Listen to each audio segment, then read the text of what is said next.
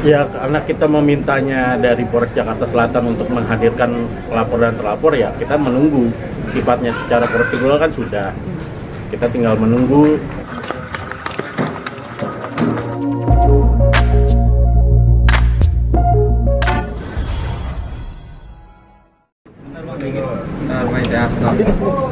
Waduh, mundur-mundur nih. Gimana juga dah. Bu, backup, Bu. Kem gue lagi ngopi, Bu. Pegang, Bu. Tolong, Bu. Lanjut. Oke, Bang Acing. Maju Cek, cek, cek. Cek, bang masuk nggak? Amannya ya. Yo. Tiga, dua, satu. Bang, boleh diceritain kronologi uh, di dalam Bang Acing? Tadi ada pemeriksaan saksi-saksi ya, khususnya dua saksi ya, seorang kameramen dari kru klien saya, saudara Baimong dan uh, Mbak Paula Merhoven ya. Tentunya tadi kita sudah dampingi, tadi diberikan pertanyaan 31 pertanyaan ya. Memang tidak begitu jauh dari saat masih dalam penyelidikan ya. Pun beda ini sekarang sudah di PAP dan dalam tahap penyidikan seperti itu. Eh, tentunya tadi berjalan sangat lancar ya, jadinya tidak terlalu lama seperti itu. Untuk 31 pertanyaannya meliputi apa aja?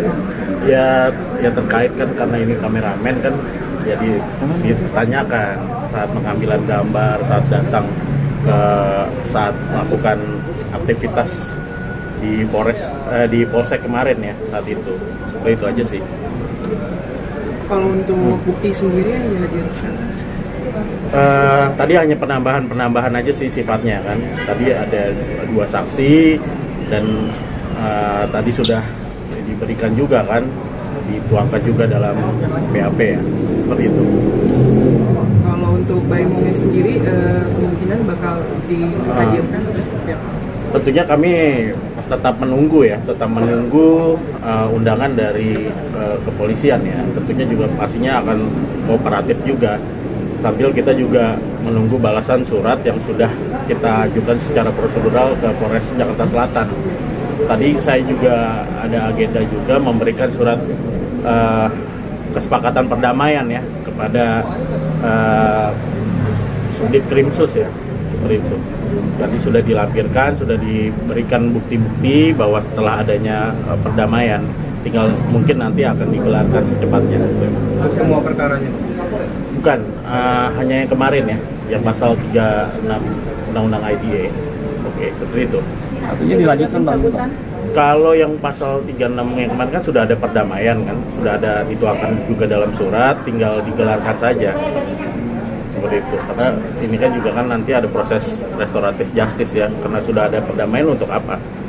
Karena perdamaian menurut saya adalah hukum yang paling tertinggi. Seperti itu. Kalau untuk saksi lain memang hanya kameramen atau masih ada lagi? eh ya kita menunggu saja kalau diperlukan eh, menurut saya tidak mau mendahului penyidik. Kalau diperlukan ya pasti kan dia nanti ber- bersurat lagi kan? Apakah masih perlu saksi-saksi yang lain? Apakah sudah cukup? Seperti itu. Kasus yang damai kemarin pencabutan udah. Eh, tadi surat sudah kita lampirkan. Kita juga sudah eh, mendatangi eh, Subdit Krim- Krimsus juga kan tadi. Bahwa bukti-bukti bahwa telah terjadinya ada kesepakatan perdamaian antara pelapor dan terlapor. Khusus yang eh, undang-undang IT ya pasal 36 kan kan masih ada dua laporan lagi kan Nah, itu dua itu gimana bang? Upaya lanjutannya? ya kalau yang pasal 220 yang dilaporkan oleh eh, sahabat polisi kita juga sudah meminta eh, sudah bersurat resmi juga ke Polres Jakarta Selatan secara prosedural dan juga kita juga sudah eh, menyurati juga kan permo- permohonan maaf kepada pelapor. Ya tinggal ditunggu saja kan surat panggilan kita sudah meminta inisiasi dari Polres Jakarta Selatan untuk eh, menghadirkan pelapor dan terlapor seperti itu. Itu kapan bang? Abang kirim surat? Berapa minggu lalu? bersurat eh, minggu lalu ya. Bersurat minggu lalu ya tinggal ditunggu saja hasilnya. Kan kita sifatnya menunggu karena prosedural juga kan. Belum ada tanggapan itu. Berarti belum seperti itu. Tapi untuk komunikasi sendiri sama pelapor udah sejauh mana? ya kita sudah ada komunikasi komunikasi kan. Kita kan juga su- sudah bersurat juga. Sudah eh, menyatakan permintaan maaf juga. Seperti itu. Tinggal nanti dari Polres Jakarta Selatan yang yang kami minta untuk mempertemukan pelapor dan telapor itu kan secara prosedural. Seperti itu. Lebih jelasnya bahwa eh, saat ini belum ditemui eh, titik terang ya. Ya karena kita memintanya dari Polres Jakarta Selatan untuk menghadirkan pelapor dan telapor ya kita menunggu. Sifatnya secara prosedural kan sudah. Kita tinggal menunggu dari eh, balasan dari eh, pihak kepolisian. Seperti itu. Berarti keputusan pastinya Ya tentunya bakal ditindaklanjuti sih. Karena kita sudah bersurat resmi ya kan tentunya pasti akan dibalas. Nggak nggak mungkin hanya didiamkan saja karena kita bersuratnya secara resmi. Untuk kerugiannya sendiri Pak? Eh, kerugian ya mungkin ya ada ya cuman kan tidak perlu dijabarkan di sini gitu. ya seperti itu Oke, ada lagi yang ingin bertanya? ya karena memang saudara Baim tidak hadir ya karena memang tidak dipanggil yang dipanggil kan hanya saksi-saksi seorang eh, kameramen ya yang saat itu juga ada di situ gitu. Bang, yang kemarin setelah berdamai kan Pak Ibu sempat ngepost di IG ya. Ya. Nah, akhirnya di situ Pak Ibu bisa menyebutkan bahwa semua sudah selesai. Hmm. Nah di situ salah satu pelapor yang proses damainya belum ada nih Hmm.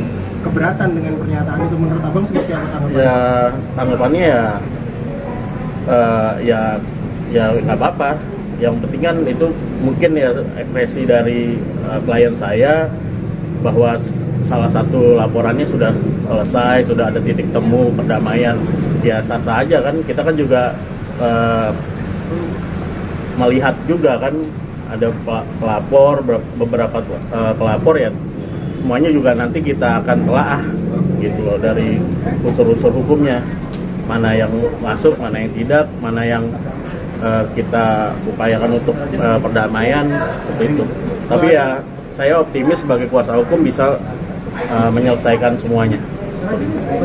Memang Mbak Imong sendiri dapat uh, makanya bisa membuat uh, apa namanya snapgram atau klarifikasi seperti itu dapat informasinya bahwasannya sudah uh, menemukan titik baiknya itu seperti apa Bang? Apa memang klarifikasi apa namanya? Apakah memang informasi salah atau memang seperti apa? maksudnya titik baik gimana Maksudnya kayak dapat informasi bahwasannya sudah berdamai atau seperti apa? Makanya bisa buat uh, snapgram seperti itu. Oh, kalau saya belum melihat snapgram ya Oh. Bukan bang, itu kan postingan Baimbo kan di Instagram dia bilang sudah selesai semuanya, padahal kan belum tuh, baru satu kan. Nah, ya itu mungkin ya ekspresi dia aja eh, beliau saja senang gitu kan. Begitu ya maksudnya bisa diartikan juga selesai semuanya kan saya untuk laporan yang ini gitu loh laporan yang pasal 36 undang-undang ITE gitu. Tapi kenyataannya kan mem- memang masih ada beberapa laporan yang masih ada. Seperti itu. Itu hanya permasalahan bahasa saja sih menurut saya jangan dibesar-besarkan juga sih seperti itu Yang menjadi masalah adalah bang ini bang, eh, Hmm.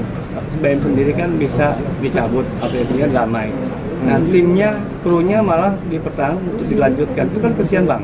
Nah, sebagai pengacara gimana tuh eh, melihat timpangnya itu adalah hukum itu?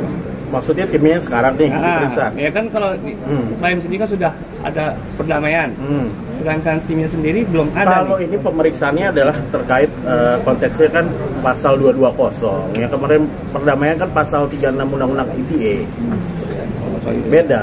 Oh, ini Kalau ini tetap tetap berjalan yang pasal 220. Karena kan memang ada tiga laporan. Ah, ah. Jadi proses masih berjalan. Kita juga sudah menyurati untuk eh, bermediasi, tapi kan proses hukum tetap berjalan sambil eh, menunggu proses eh, mediasi dan eh, saya sih berharapnya juga bisa eh, mediasi selesai adanya kesepakatan perdamaian dan melalui mekanisme restoratif justice seperti itu. Thank you. Terima kasih Bang. Bang, kedua bang.